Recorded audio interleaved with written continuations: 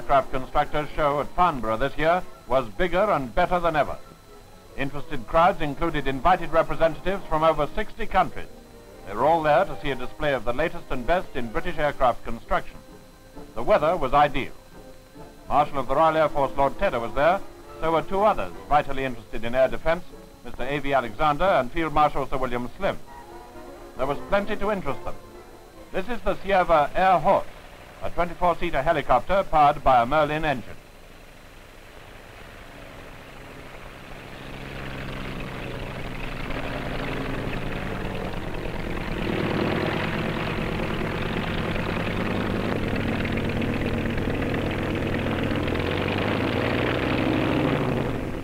Outstanding among the bombers was the Canberra B-1 made by the English Electric Company, a medium-range turbojet of tremendous speed and maneuverability.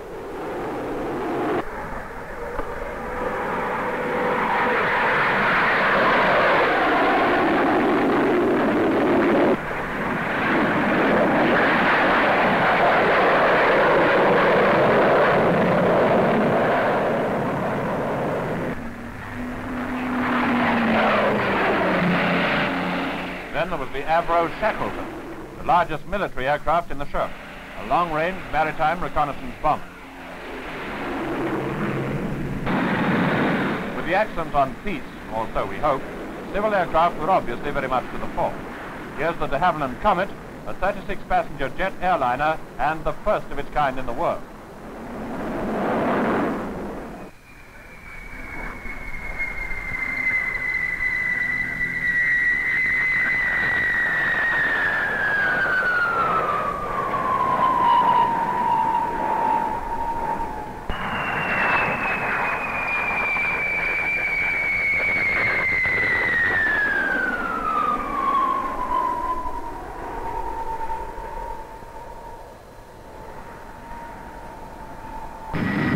The Vickers Viscount, already on order by British Airlines and powered by turbo propellers, gave a spectacular display with two engines stopped and feathered.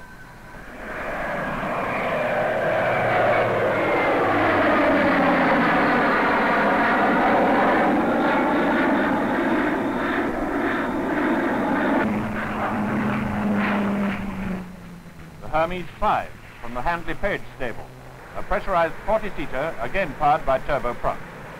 With a full complement of passengers and three and a half tons of freight, it can fly 2,000 miles at 330 miles an hour. Another aircraft with an outstanding performance.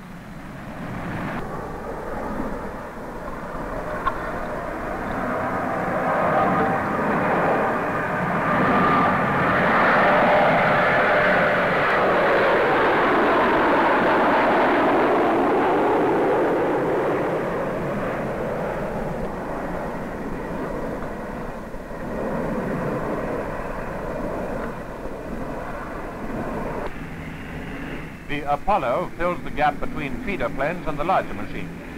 Mamba turboprops provide the power, and up to 30 passengers can be accommodated.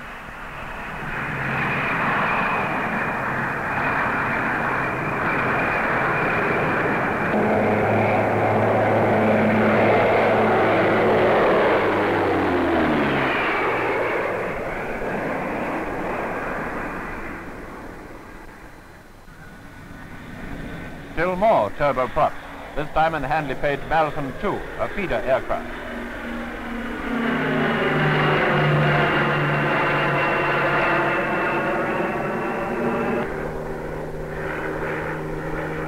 She was another machine to show her paces on only half power.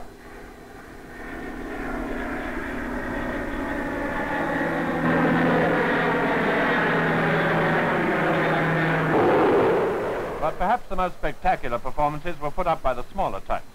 Here's the DH-112, the Venom, a development of the famous Vampire.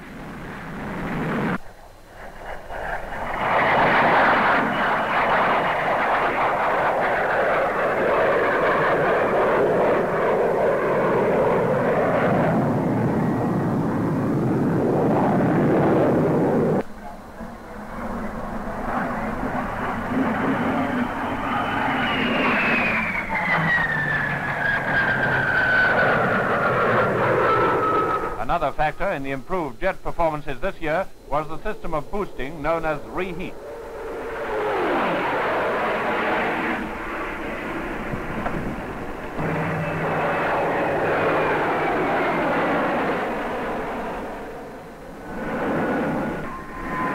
Venom's twin sister, the DH-113, intended for night fighting.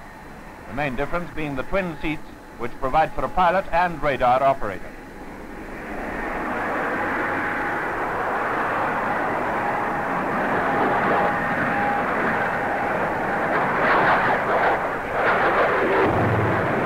The Meteor, fitted with two Avon jets, is the most powerful fighter in the world.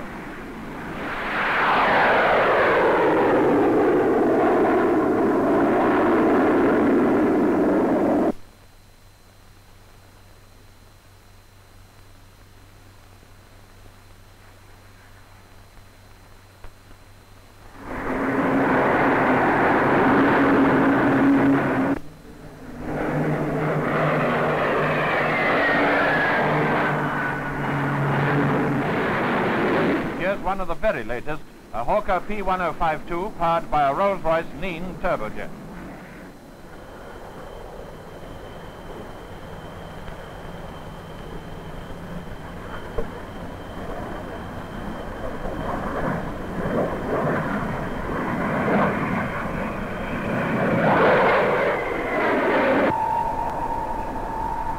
And what's rumored to be the fastest aircraft in the show, the Vickers Supermarine 510, an experimental supersonic job.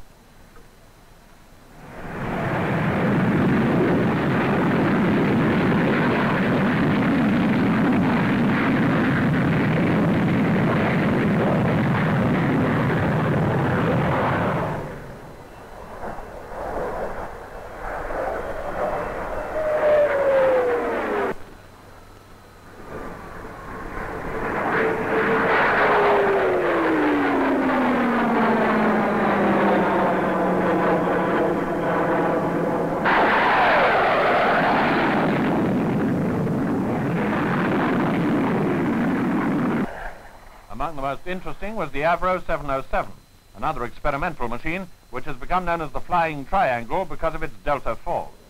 It came off the secret list at 2.30 p.m. on the first day of the show and was flying the same afternoon. Coming over at between 300 and 350 miles an hour, she excited a tremendous amount of interest. Her 33-foot span wings of equilateral pattern are perhaps the shape of things to come.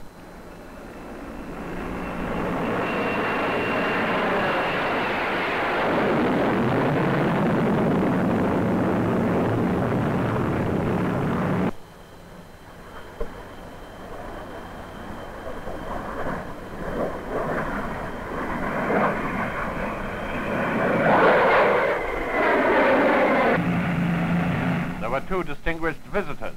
The Short Solent flew just over the heads of the spectators, an impressive and frightening sight.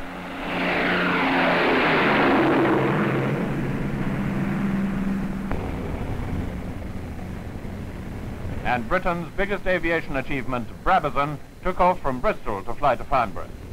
When 130 tons of aircraft takes off, it makes a suitable subject for a close-up.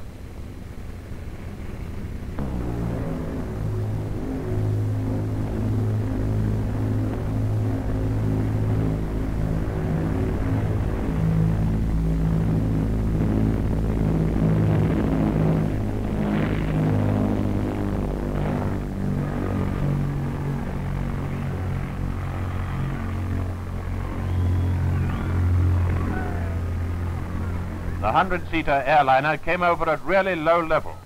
A magnificent spectacle at a magnificent show. In fact, the greatest air show the world has yet seen.